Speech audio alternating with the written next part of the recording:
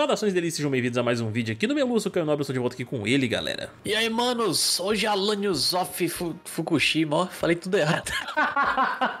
pois é, mano, a Lance falou tudo errado aqui, mas tudo bem, nessa intro maravilhosa. Hoje vamos trazer aqui pra vocês, nesse vídeo delicioso, galera, o novo trailer aí, de história agora, tá, de Ghost of Tsushima, a versão do diretor que traz a ilha Iki, que é um novo conteúdo aí que vamos poder explorar nesse jogo delicioso, então a gente vai assistir esse trailer de história aqui, comentar um pouco e trazer algumas informações adicionais também que eles revelaram pra gente. Então se você tá curioso, deixa seu likezinho, se inscreve no canal e ativa o sininho para não perder notificação dos próximos vídeos, galera. É uma regra do YouTube. Vocês não ativarem, vocês não recebem os nossos vídeos e acessem a nossa Twitch para poder conferir as nossas lives lá que acontecem praticamente todos os dias por volta de 7, 8 horas da noite, beleza? Tá aqui embaixo o link no comentário fixado. Então vamos lá, Alanios, sem mais delongas, cara. Vamos dar uma olhada nesse negócio aqui porque eu já estou hypado. O trailer já está devidamente preparado aqui para vocês. A gente ativou as legendas automáticas, por mais que elas sejam um pouco zoadinhas no YouTube, né, essas legendas, dá pra gente poder ir acompanhando, a gente vai prestando atenção e depois a gente comenta um pouco a respeito também. Então vamos lá, Lanius, sem mais delongas, taca ali o play, meu Bora, amigo. História de Ikki, deveria ter entrado como Alanios Avifênix aqui. Perdeu a oportunidade.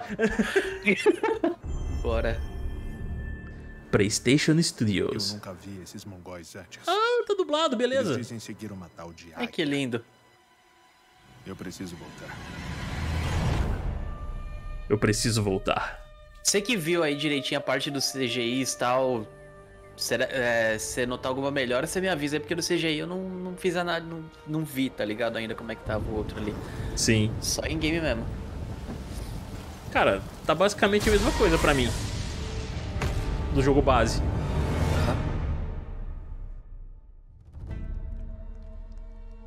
Capturar o garoto, velho. Sua jornada foi difícil.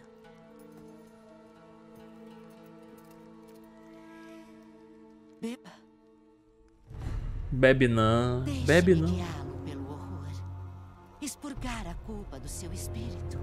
Deixá-lo inteiro de novo. Aquelas pessoas enlouqueceram. Se a águia fizer isso com toda a ilha.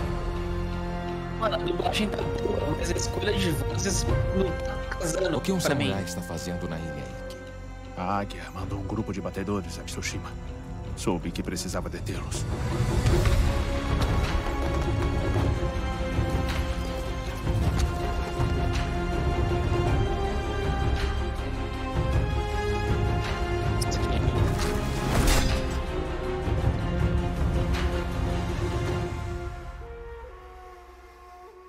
Porra, tá bonito, hein, velho? Nossa, mano. A história parece que vai ser muito da hora, irmão. Caraca, velho. Deixa eu botar aqui pra gente poder ir comentando um pouquinho. A gente já teve um pequeno vislumbre ali do que, que vai ser essa campanha. E pelas, pelas informações que o PlayStation liberou, parece que essa jornada do Dino, como ele comenta lá, né? Que ele precisa ir lá, ele precisa voltar, ele precisa dar um jeito. Eles comentam que uma tribo de mongóis misteriosa, eles tomaram uma posição nessa ilha de Ikki, entendeu? Eles acabaram dominando assim de certa maneira. E eles são liderados, cara, por uma xamã que eles chamam de Anksar Khatun. E eu fui pesquisar a palavra Khatun no Google para poder entender melhor e tal. É realmente uma posição de poder, vamos dizer assim, uma posição de nobreza e tal que eles dizem ser, em um dos materiais que eu pesquisei, a contraparte de Khan, como a gente vê, por exemplo, no Mortal Kombat, Shao Kahn, Kitana Khan, não sei o que lá e tal. O Katun, de acordo com algumas fontes, seria meio que uma contraparte. E ela é conhecida pelos seguidores como a Águia, e eles falam que ela não é apenas uma conquistadora de terras e tudo mais, mas ela também é uma pastora de almas.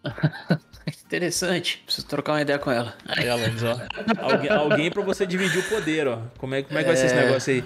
Exatamente. Fala pela guiazão pro meu cercadinho ali.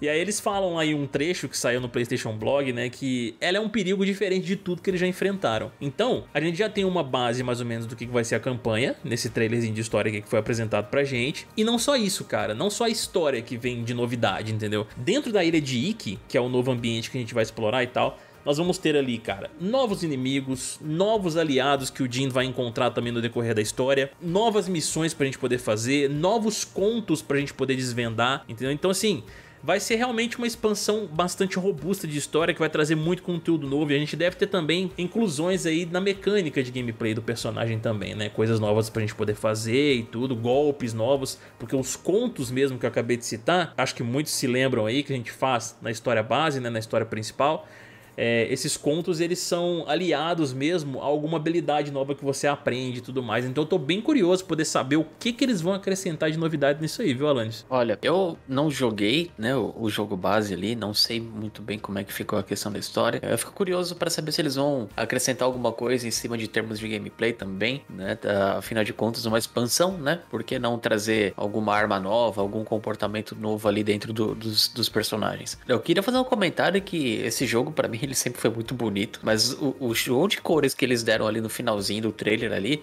meu amigo, que que é aquilo, cara? Você tá de brincadeira. É, eu tava comentando com o Caio aqui, galera, antes da gente começar a gravar, e quando eu vi esse jogo na E3, eu falei, caramba, esse é o jogo de samurai que eu sempre quis. Meu, essa é a certeza, assim, ó, que quando eu pegar um Play 5, mas eu vou direto nele. Eu não vou pensar duas vezes, cara. Esse é um jogo mesmo que quem não teve um PlayStation 4 pra poder jogá-lo na época lá, se pegar um PlayStation 5 direto, cara, precisa. Porque ele tá otimizado agora, desde que o PlayStation 5 foi lançado, né? Eles uhum. fizeram uma atualização para rodar 60 frames, bonitinho e tal. E agora com essa expansão de conteúdo aqui ainda, cara, que promete uma história muito da hora, porque eles estão apresentando pra gente, vai ser um prato cheio para quem gosta desse tipo de ambiente assim também. E a gente vê um trecho aqui no trailer deles falando que, que essa mulher, o que ela faz com as pessoas, deixam elas malucas. Então, a gente pode esperar aí, cara, algumas espécies de inimigos inusitados, porque a gente vai ter, além dos animais e tudo mais ali, nós vamos ter piratas e em trechos também do que eles liberaram pra gente de novidades do jogo, a gente vai ter mongóis doidos assim mesmo, sabe? Malucos e tal, porque eles devem ficar tudo biruta com aquele negócio que ela dá pra poder beber ali, mano. Ela engana achando que é um chá, e, na verdade você tá bebendo uma coisa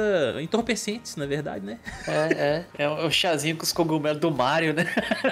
Pois é, mano. Eu acho interessante. Será que eles vão acrescentar coisa de batalha em barco, batalha naval, esse tipo, esse tipo de coisa também? Porque quando você fala de mongol, né? Os mongols eles invadiram o Japão vindo pelo mar aí com barco e tudo mais. Então, se tiver alguma coisa nesse sentido, vai ser bem louco, né? Você falou de pirata também. É, eu acho que seria uma, uma adição bem legal aí pro gameplay, cara. Sim, cara, eu acho muito da hora isso também. Vamos esperar para ver. Eu acho que em termos de batalha de barcos, assim, utilizando canhões e tudo mais, eles não devem adicionar propriamente dito. Eu acho que eles podem sim colocar muita coisa de combate, mas né, dentro dos próprios navios mesmo, com a espada e tudo mais, você invadindo ali no stealth, confrontando a galera diretamente e tudo mais. Pulando dentro dos barcos, de um barco pro outro, alguma coisa assim, talvez. Sim, sim. O que eu sei é que eu tô muito ansioso, cara. E o jogo ele vai lançar no próximo dia 20 de agosto, né? Na verdade, essa expansão de história é a Director's Cut. E quem já tem o jogo paga um valor adicional para poder ter esse conteúdo. E quem não tem vai comprar essa versão Director's Cut direto. Porque pelo que eu vi, eles já substituíram o Ghost of Tsushima base pro Ghost of Tsushima Direct Director's Cut. Acabou de mostrar aqui na tela pra gente, inclusive, ó, também disponível para PlayStation 4 e tudo. Então, rapaz, estou muito curioso para poder ver essa história aí, muito ansioso, porque foi um jogo que eu gostei pra caramba. Tem análise dele aqui no canal, tem vídeo de dicas dele também, que a gente postou um cadinho, que eu incentivo vocês aí que estão começando a jogar também a conferir. E é isso aí, meus amigos. Agora a gente vai ficando por aqui. Espero que vocês tenham curtido esse videozinho trazendo algumas informações de Ghost of Tsushima Director's Cut, né? Deixa aqui embaixo nos comentários o que vocês acharam dessa nova história, o que vocês esperam desse novo conteúdo. A gente vai ficando por aqui. Um beijo, ó. Gostou? Seu duas moledas do esquerda e direita de cada um de vocês. Até mais. Pois.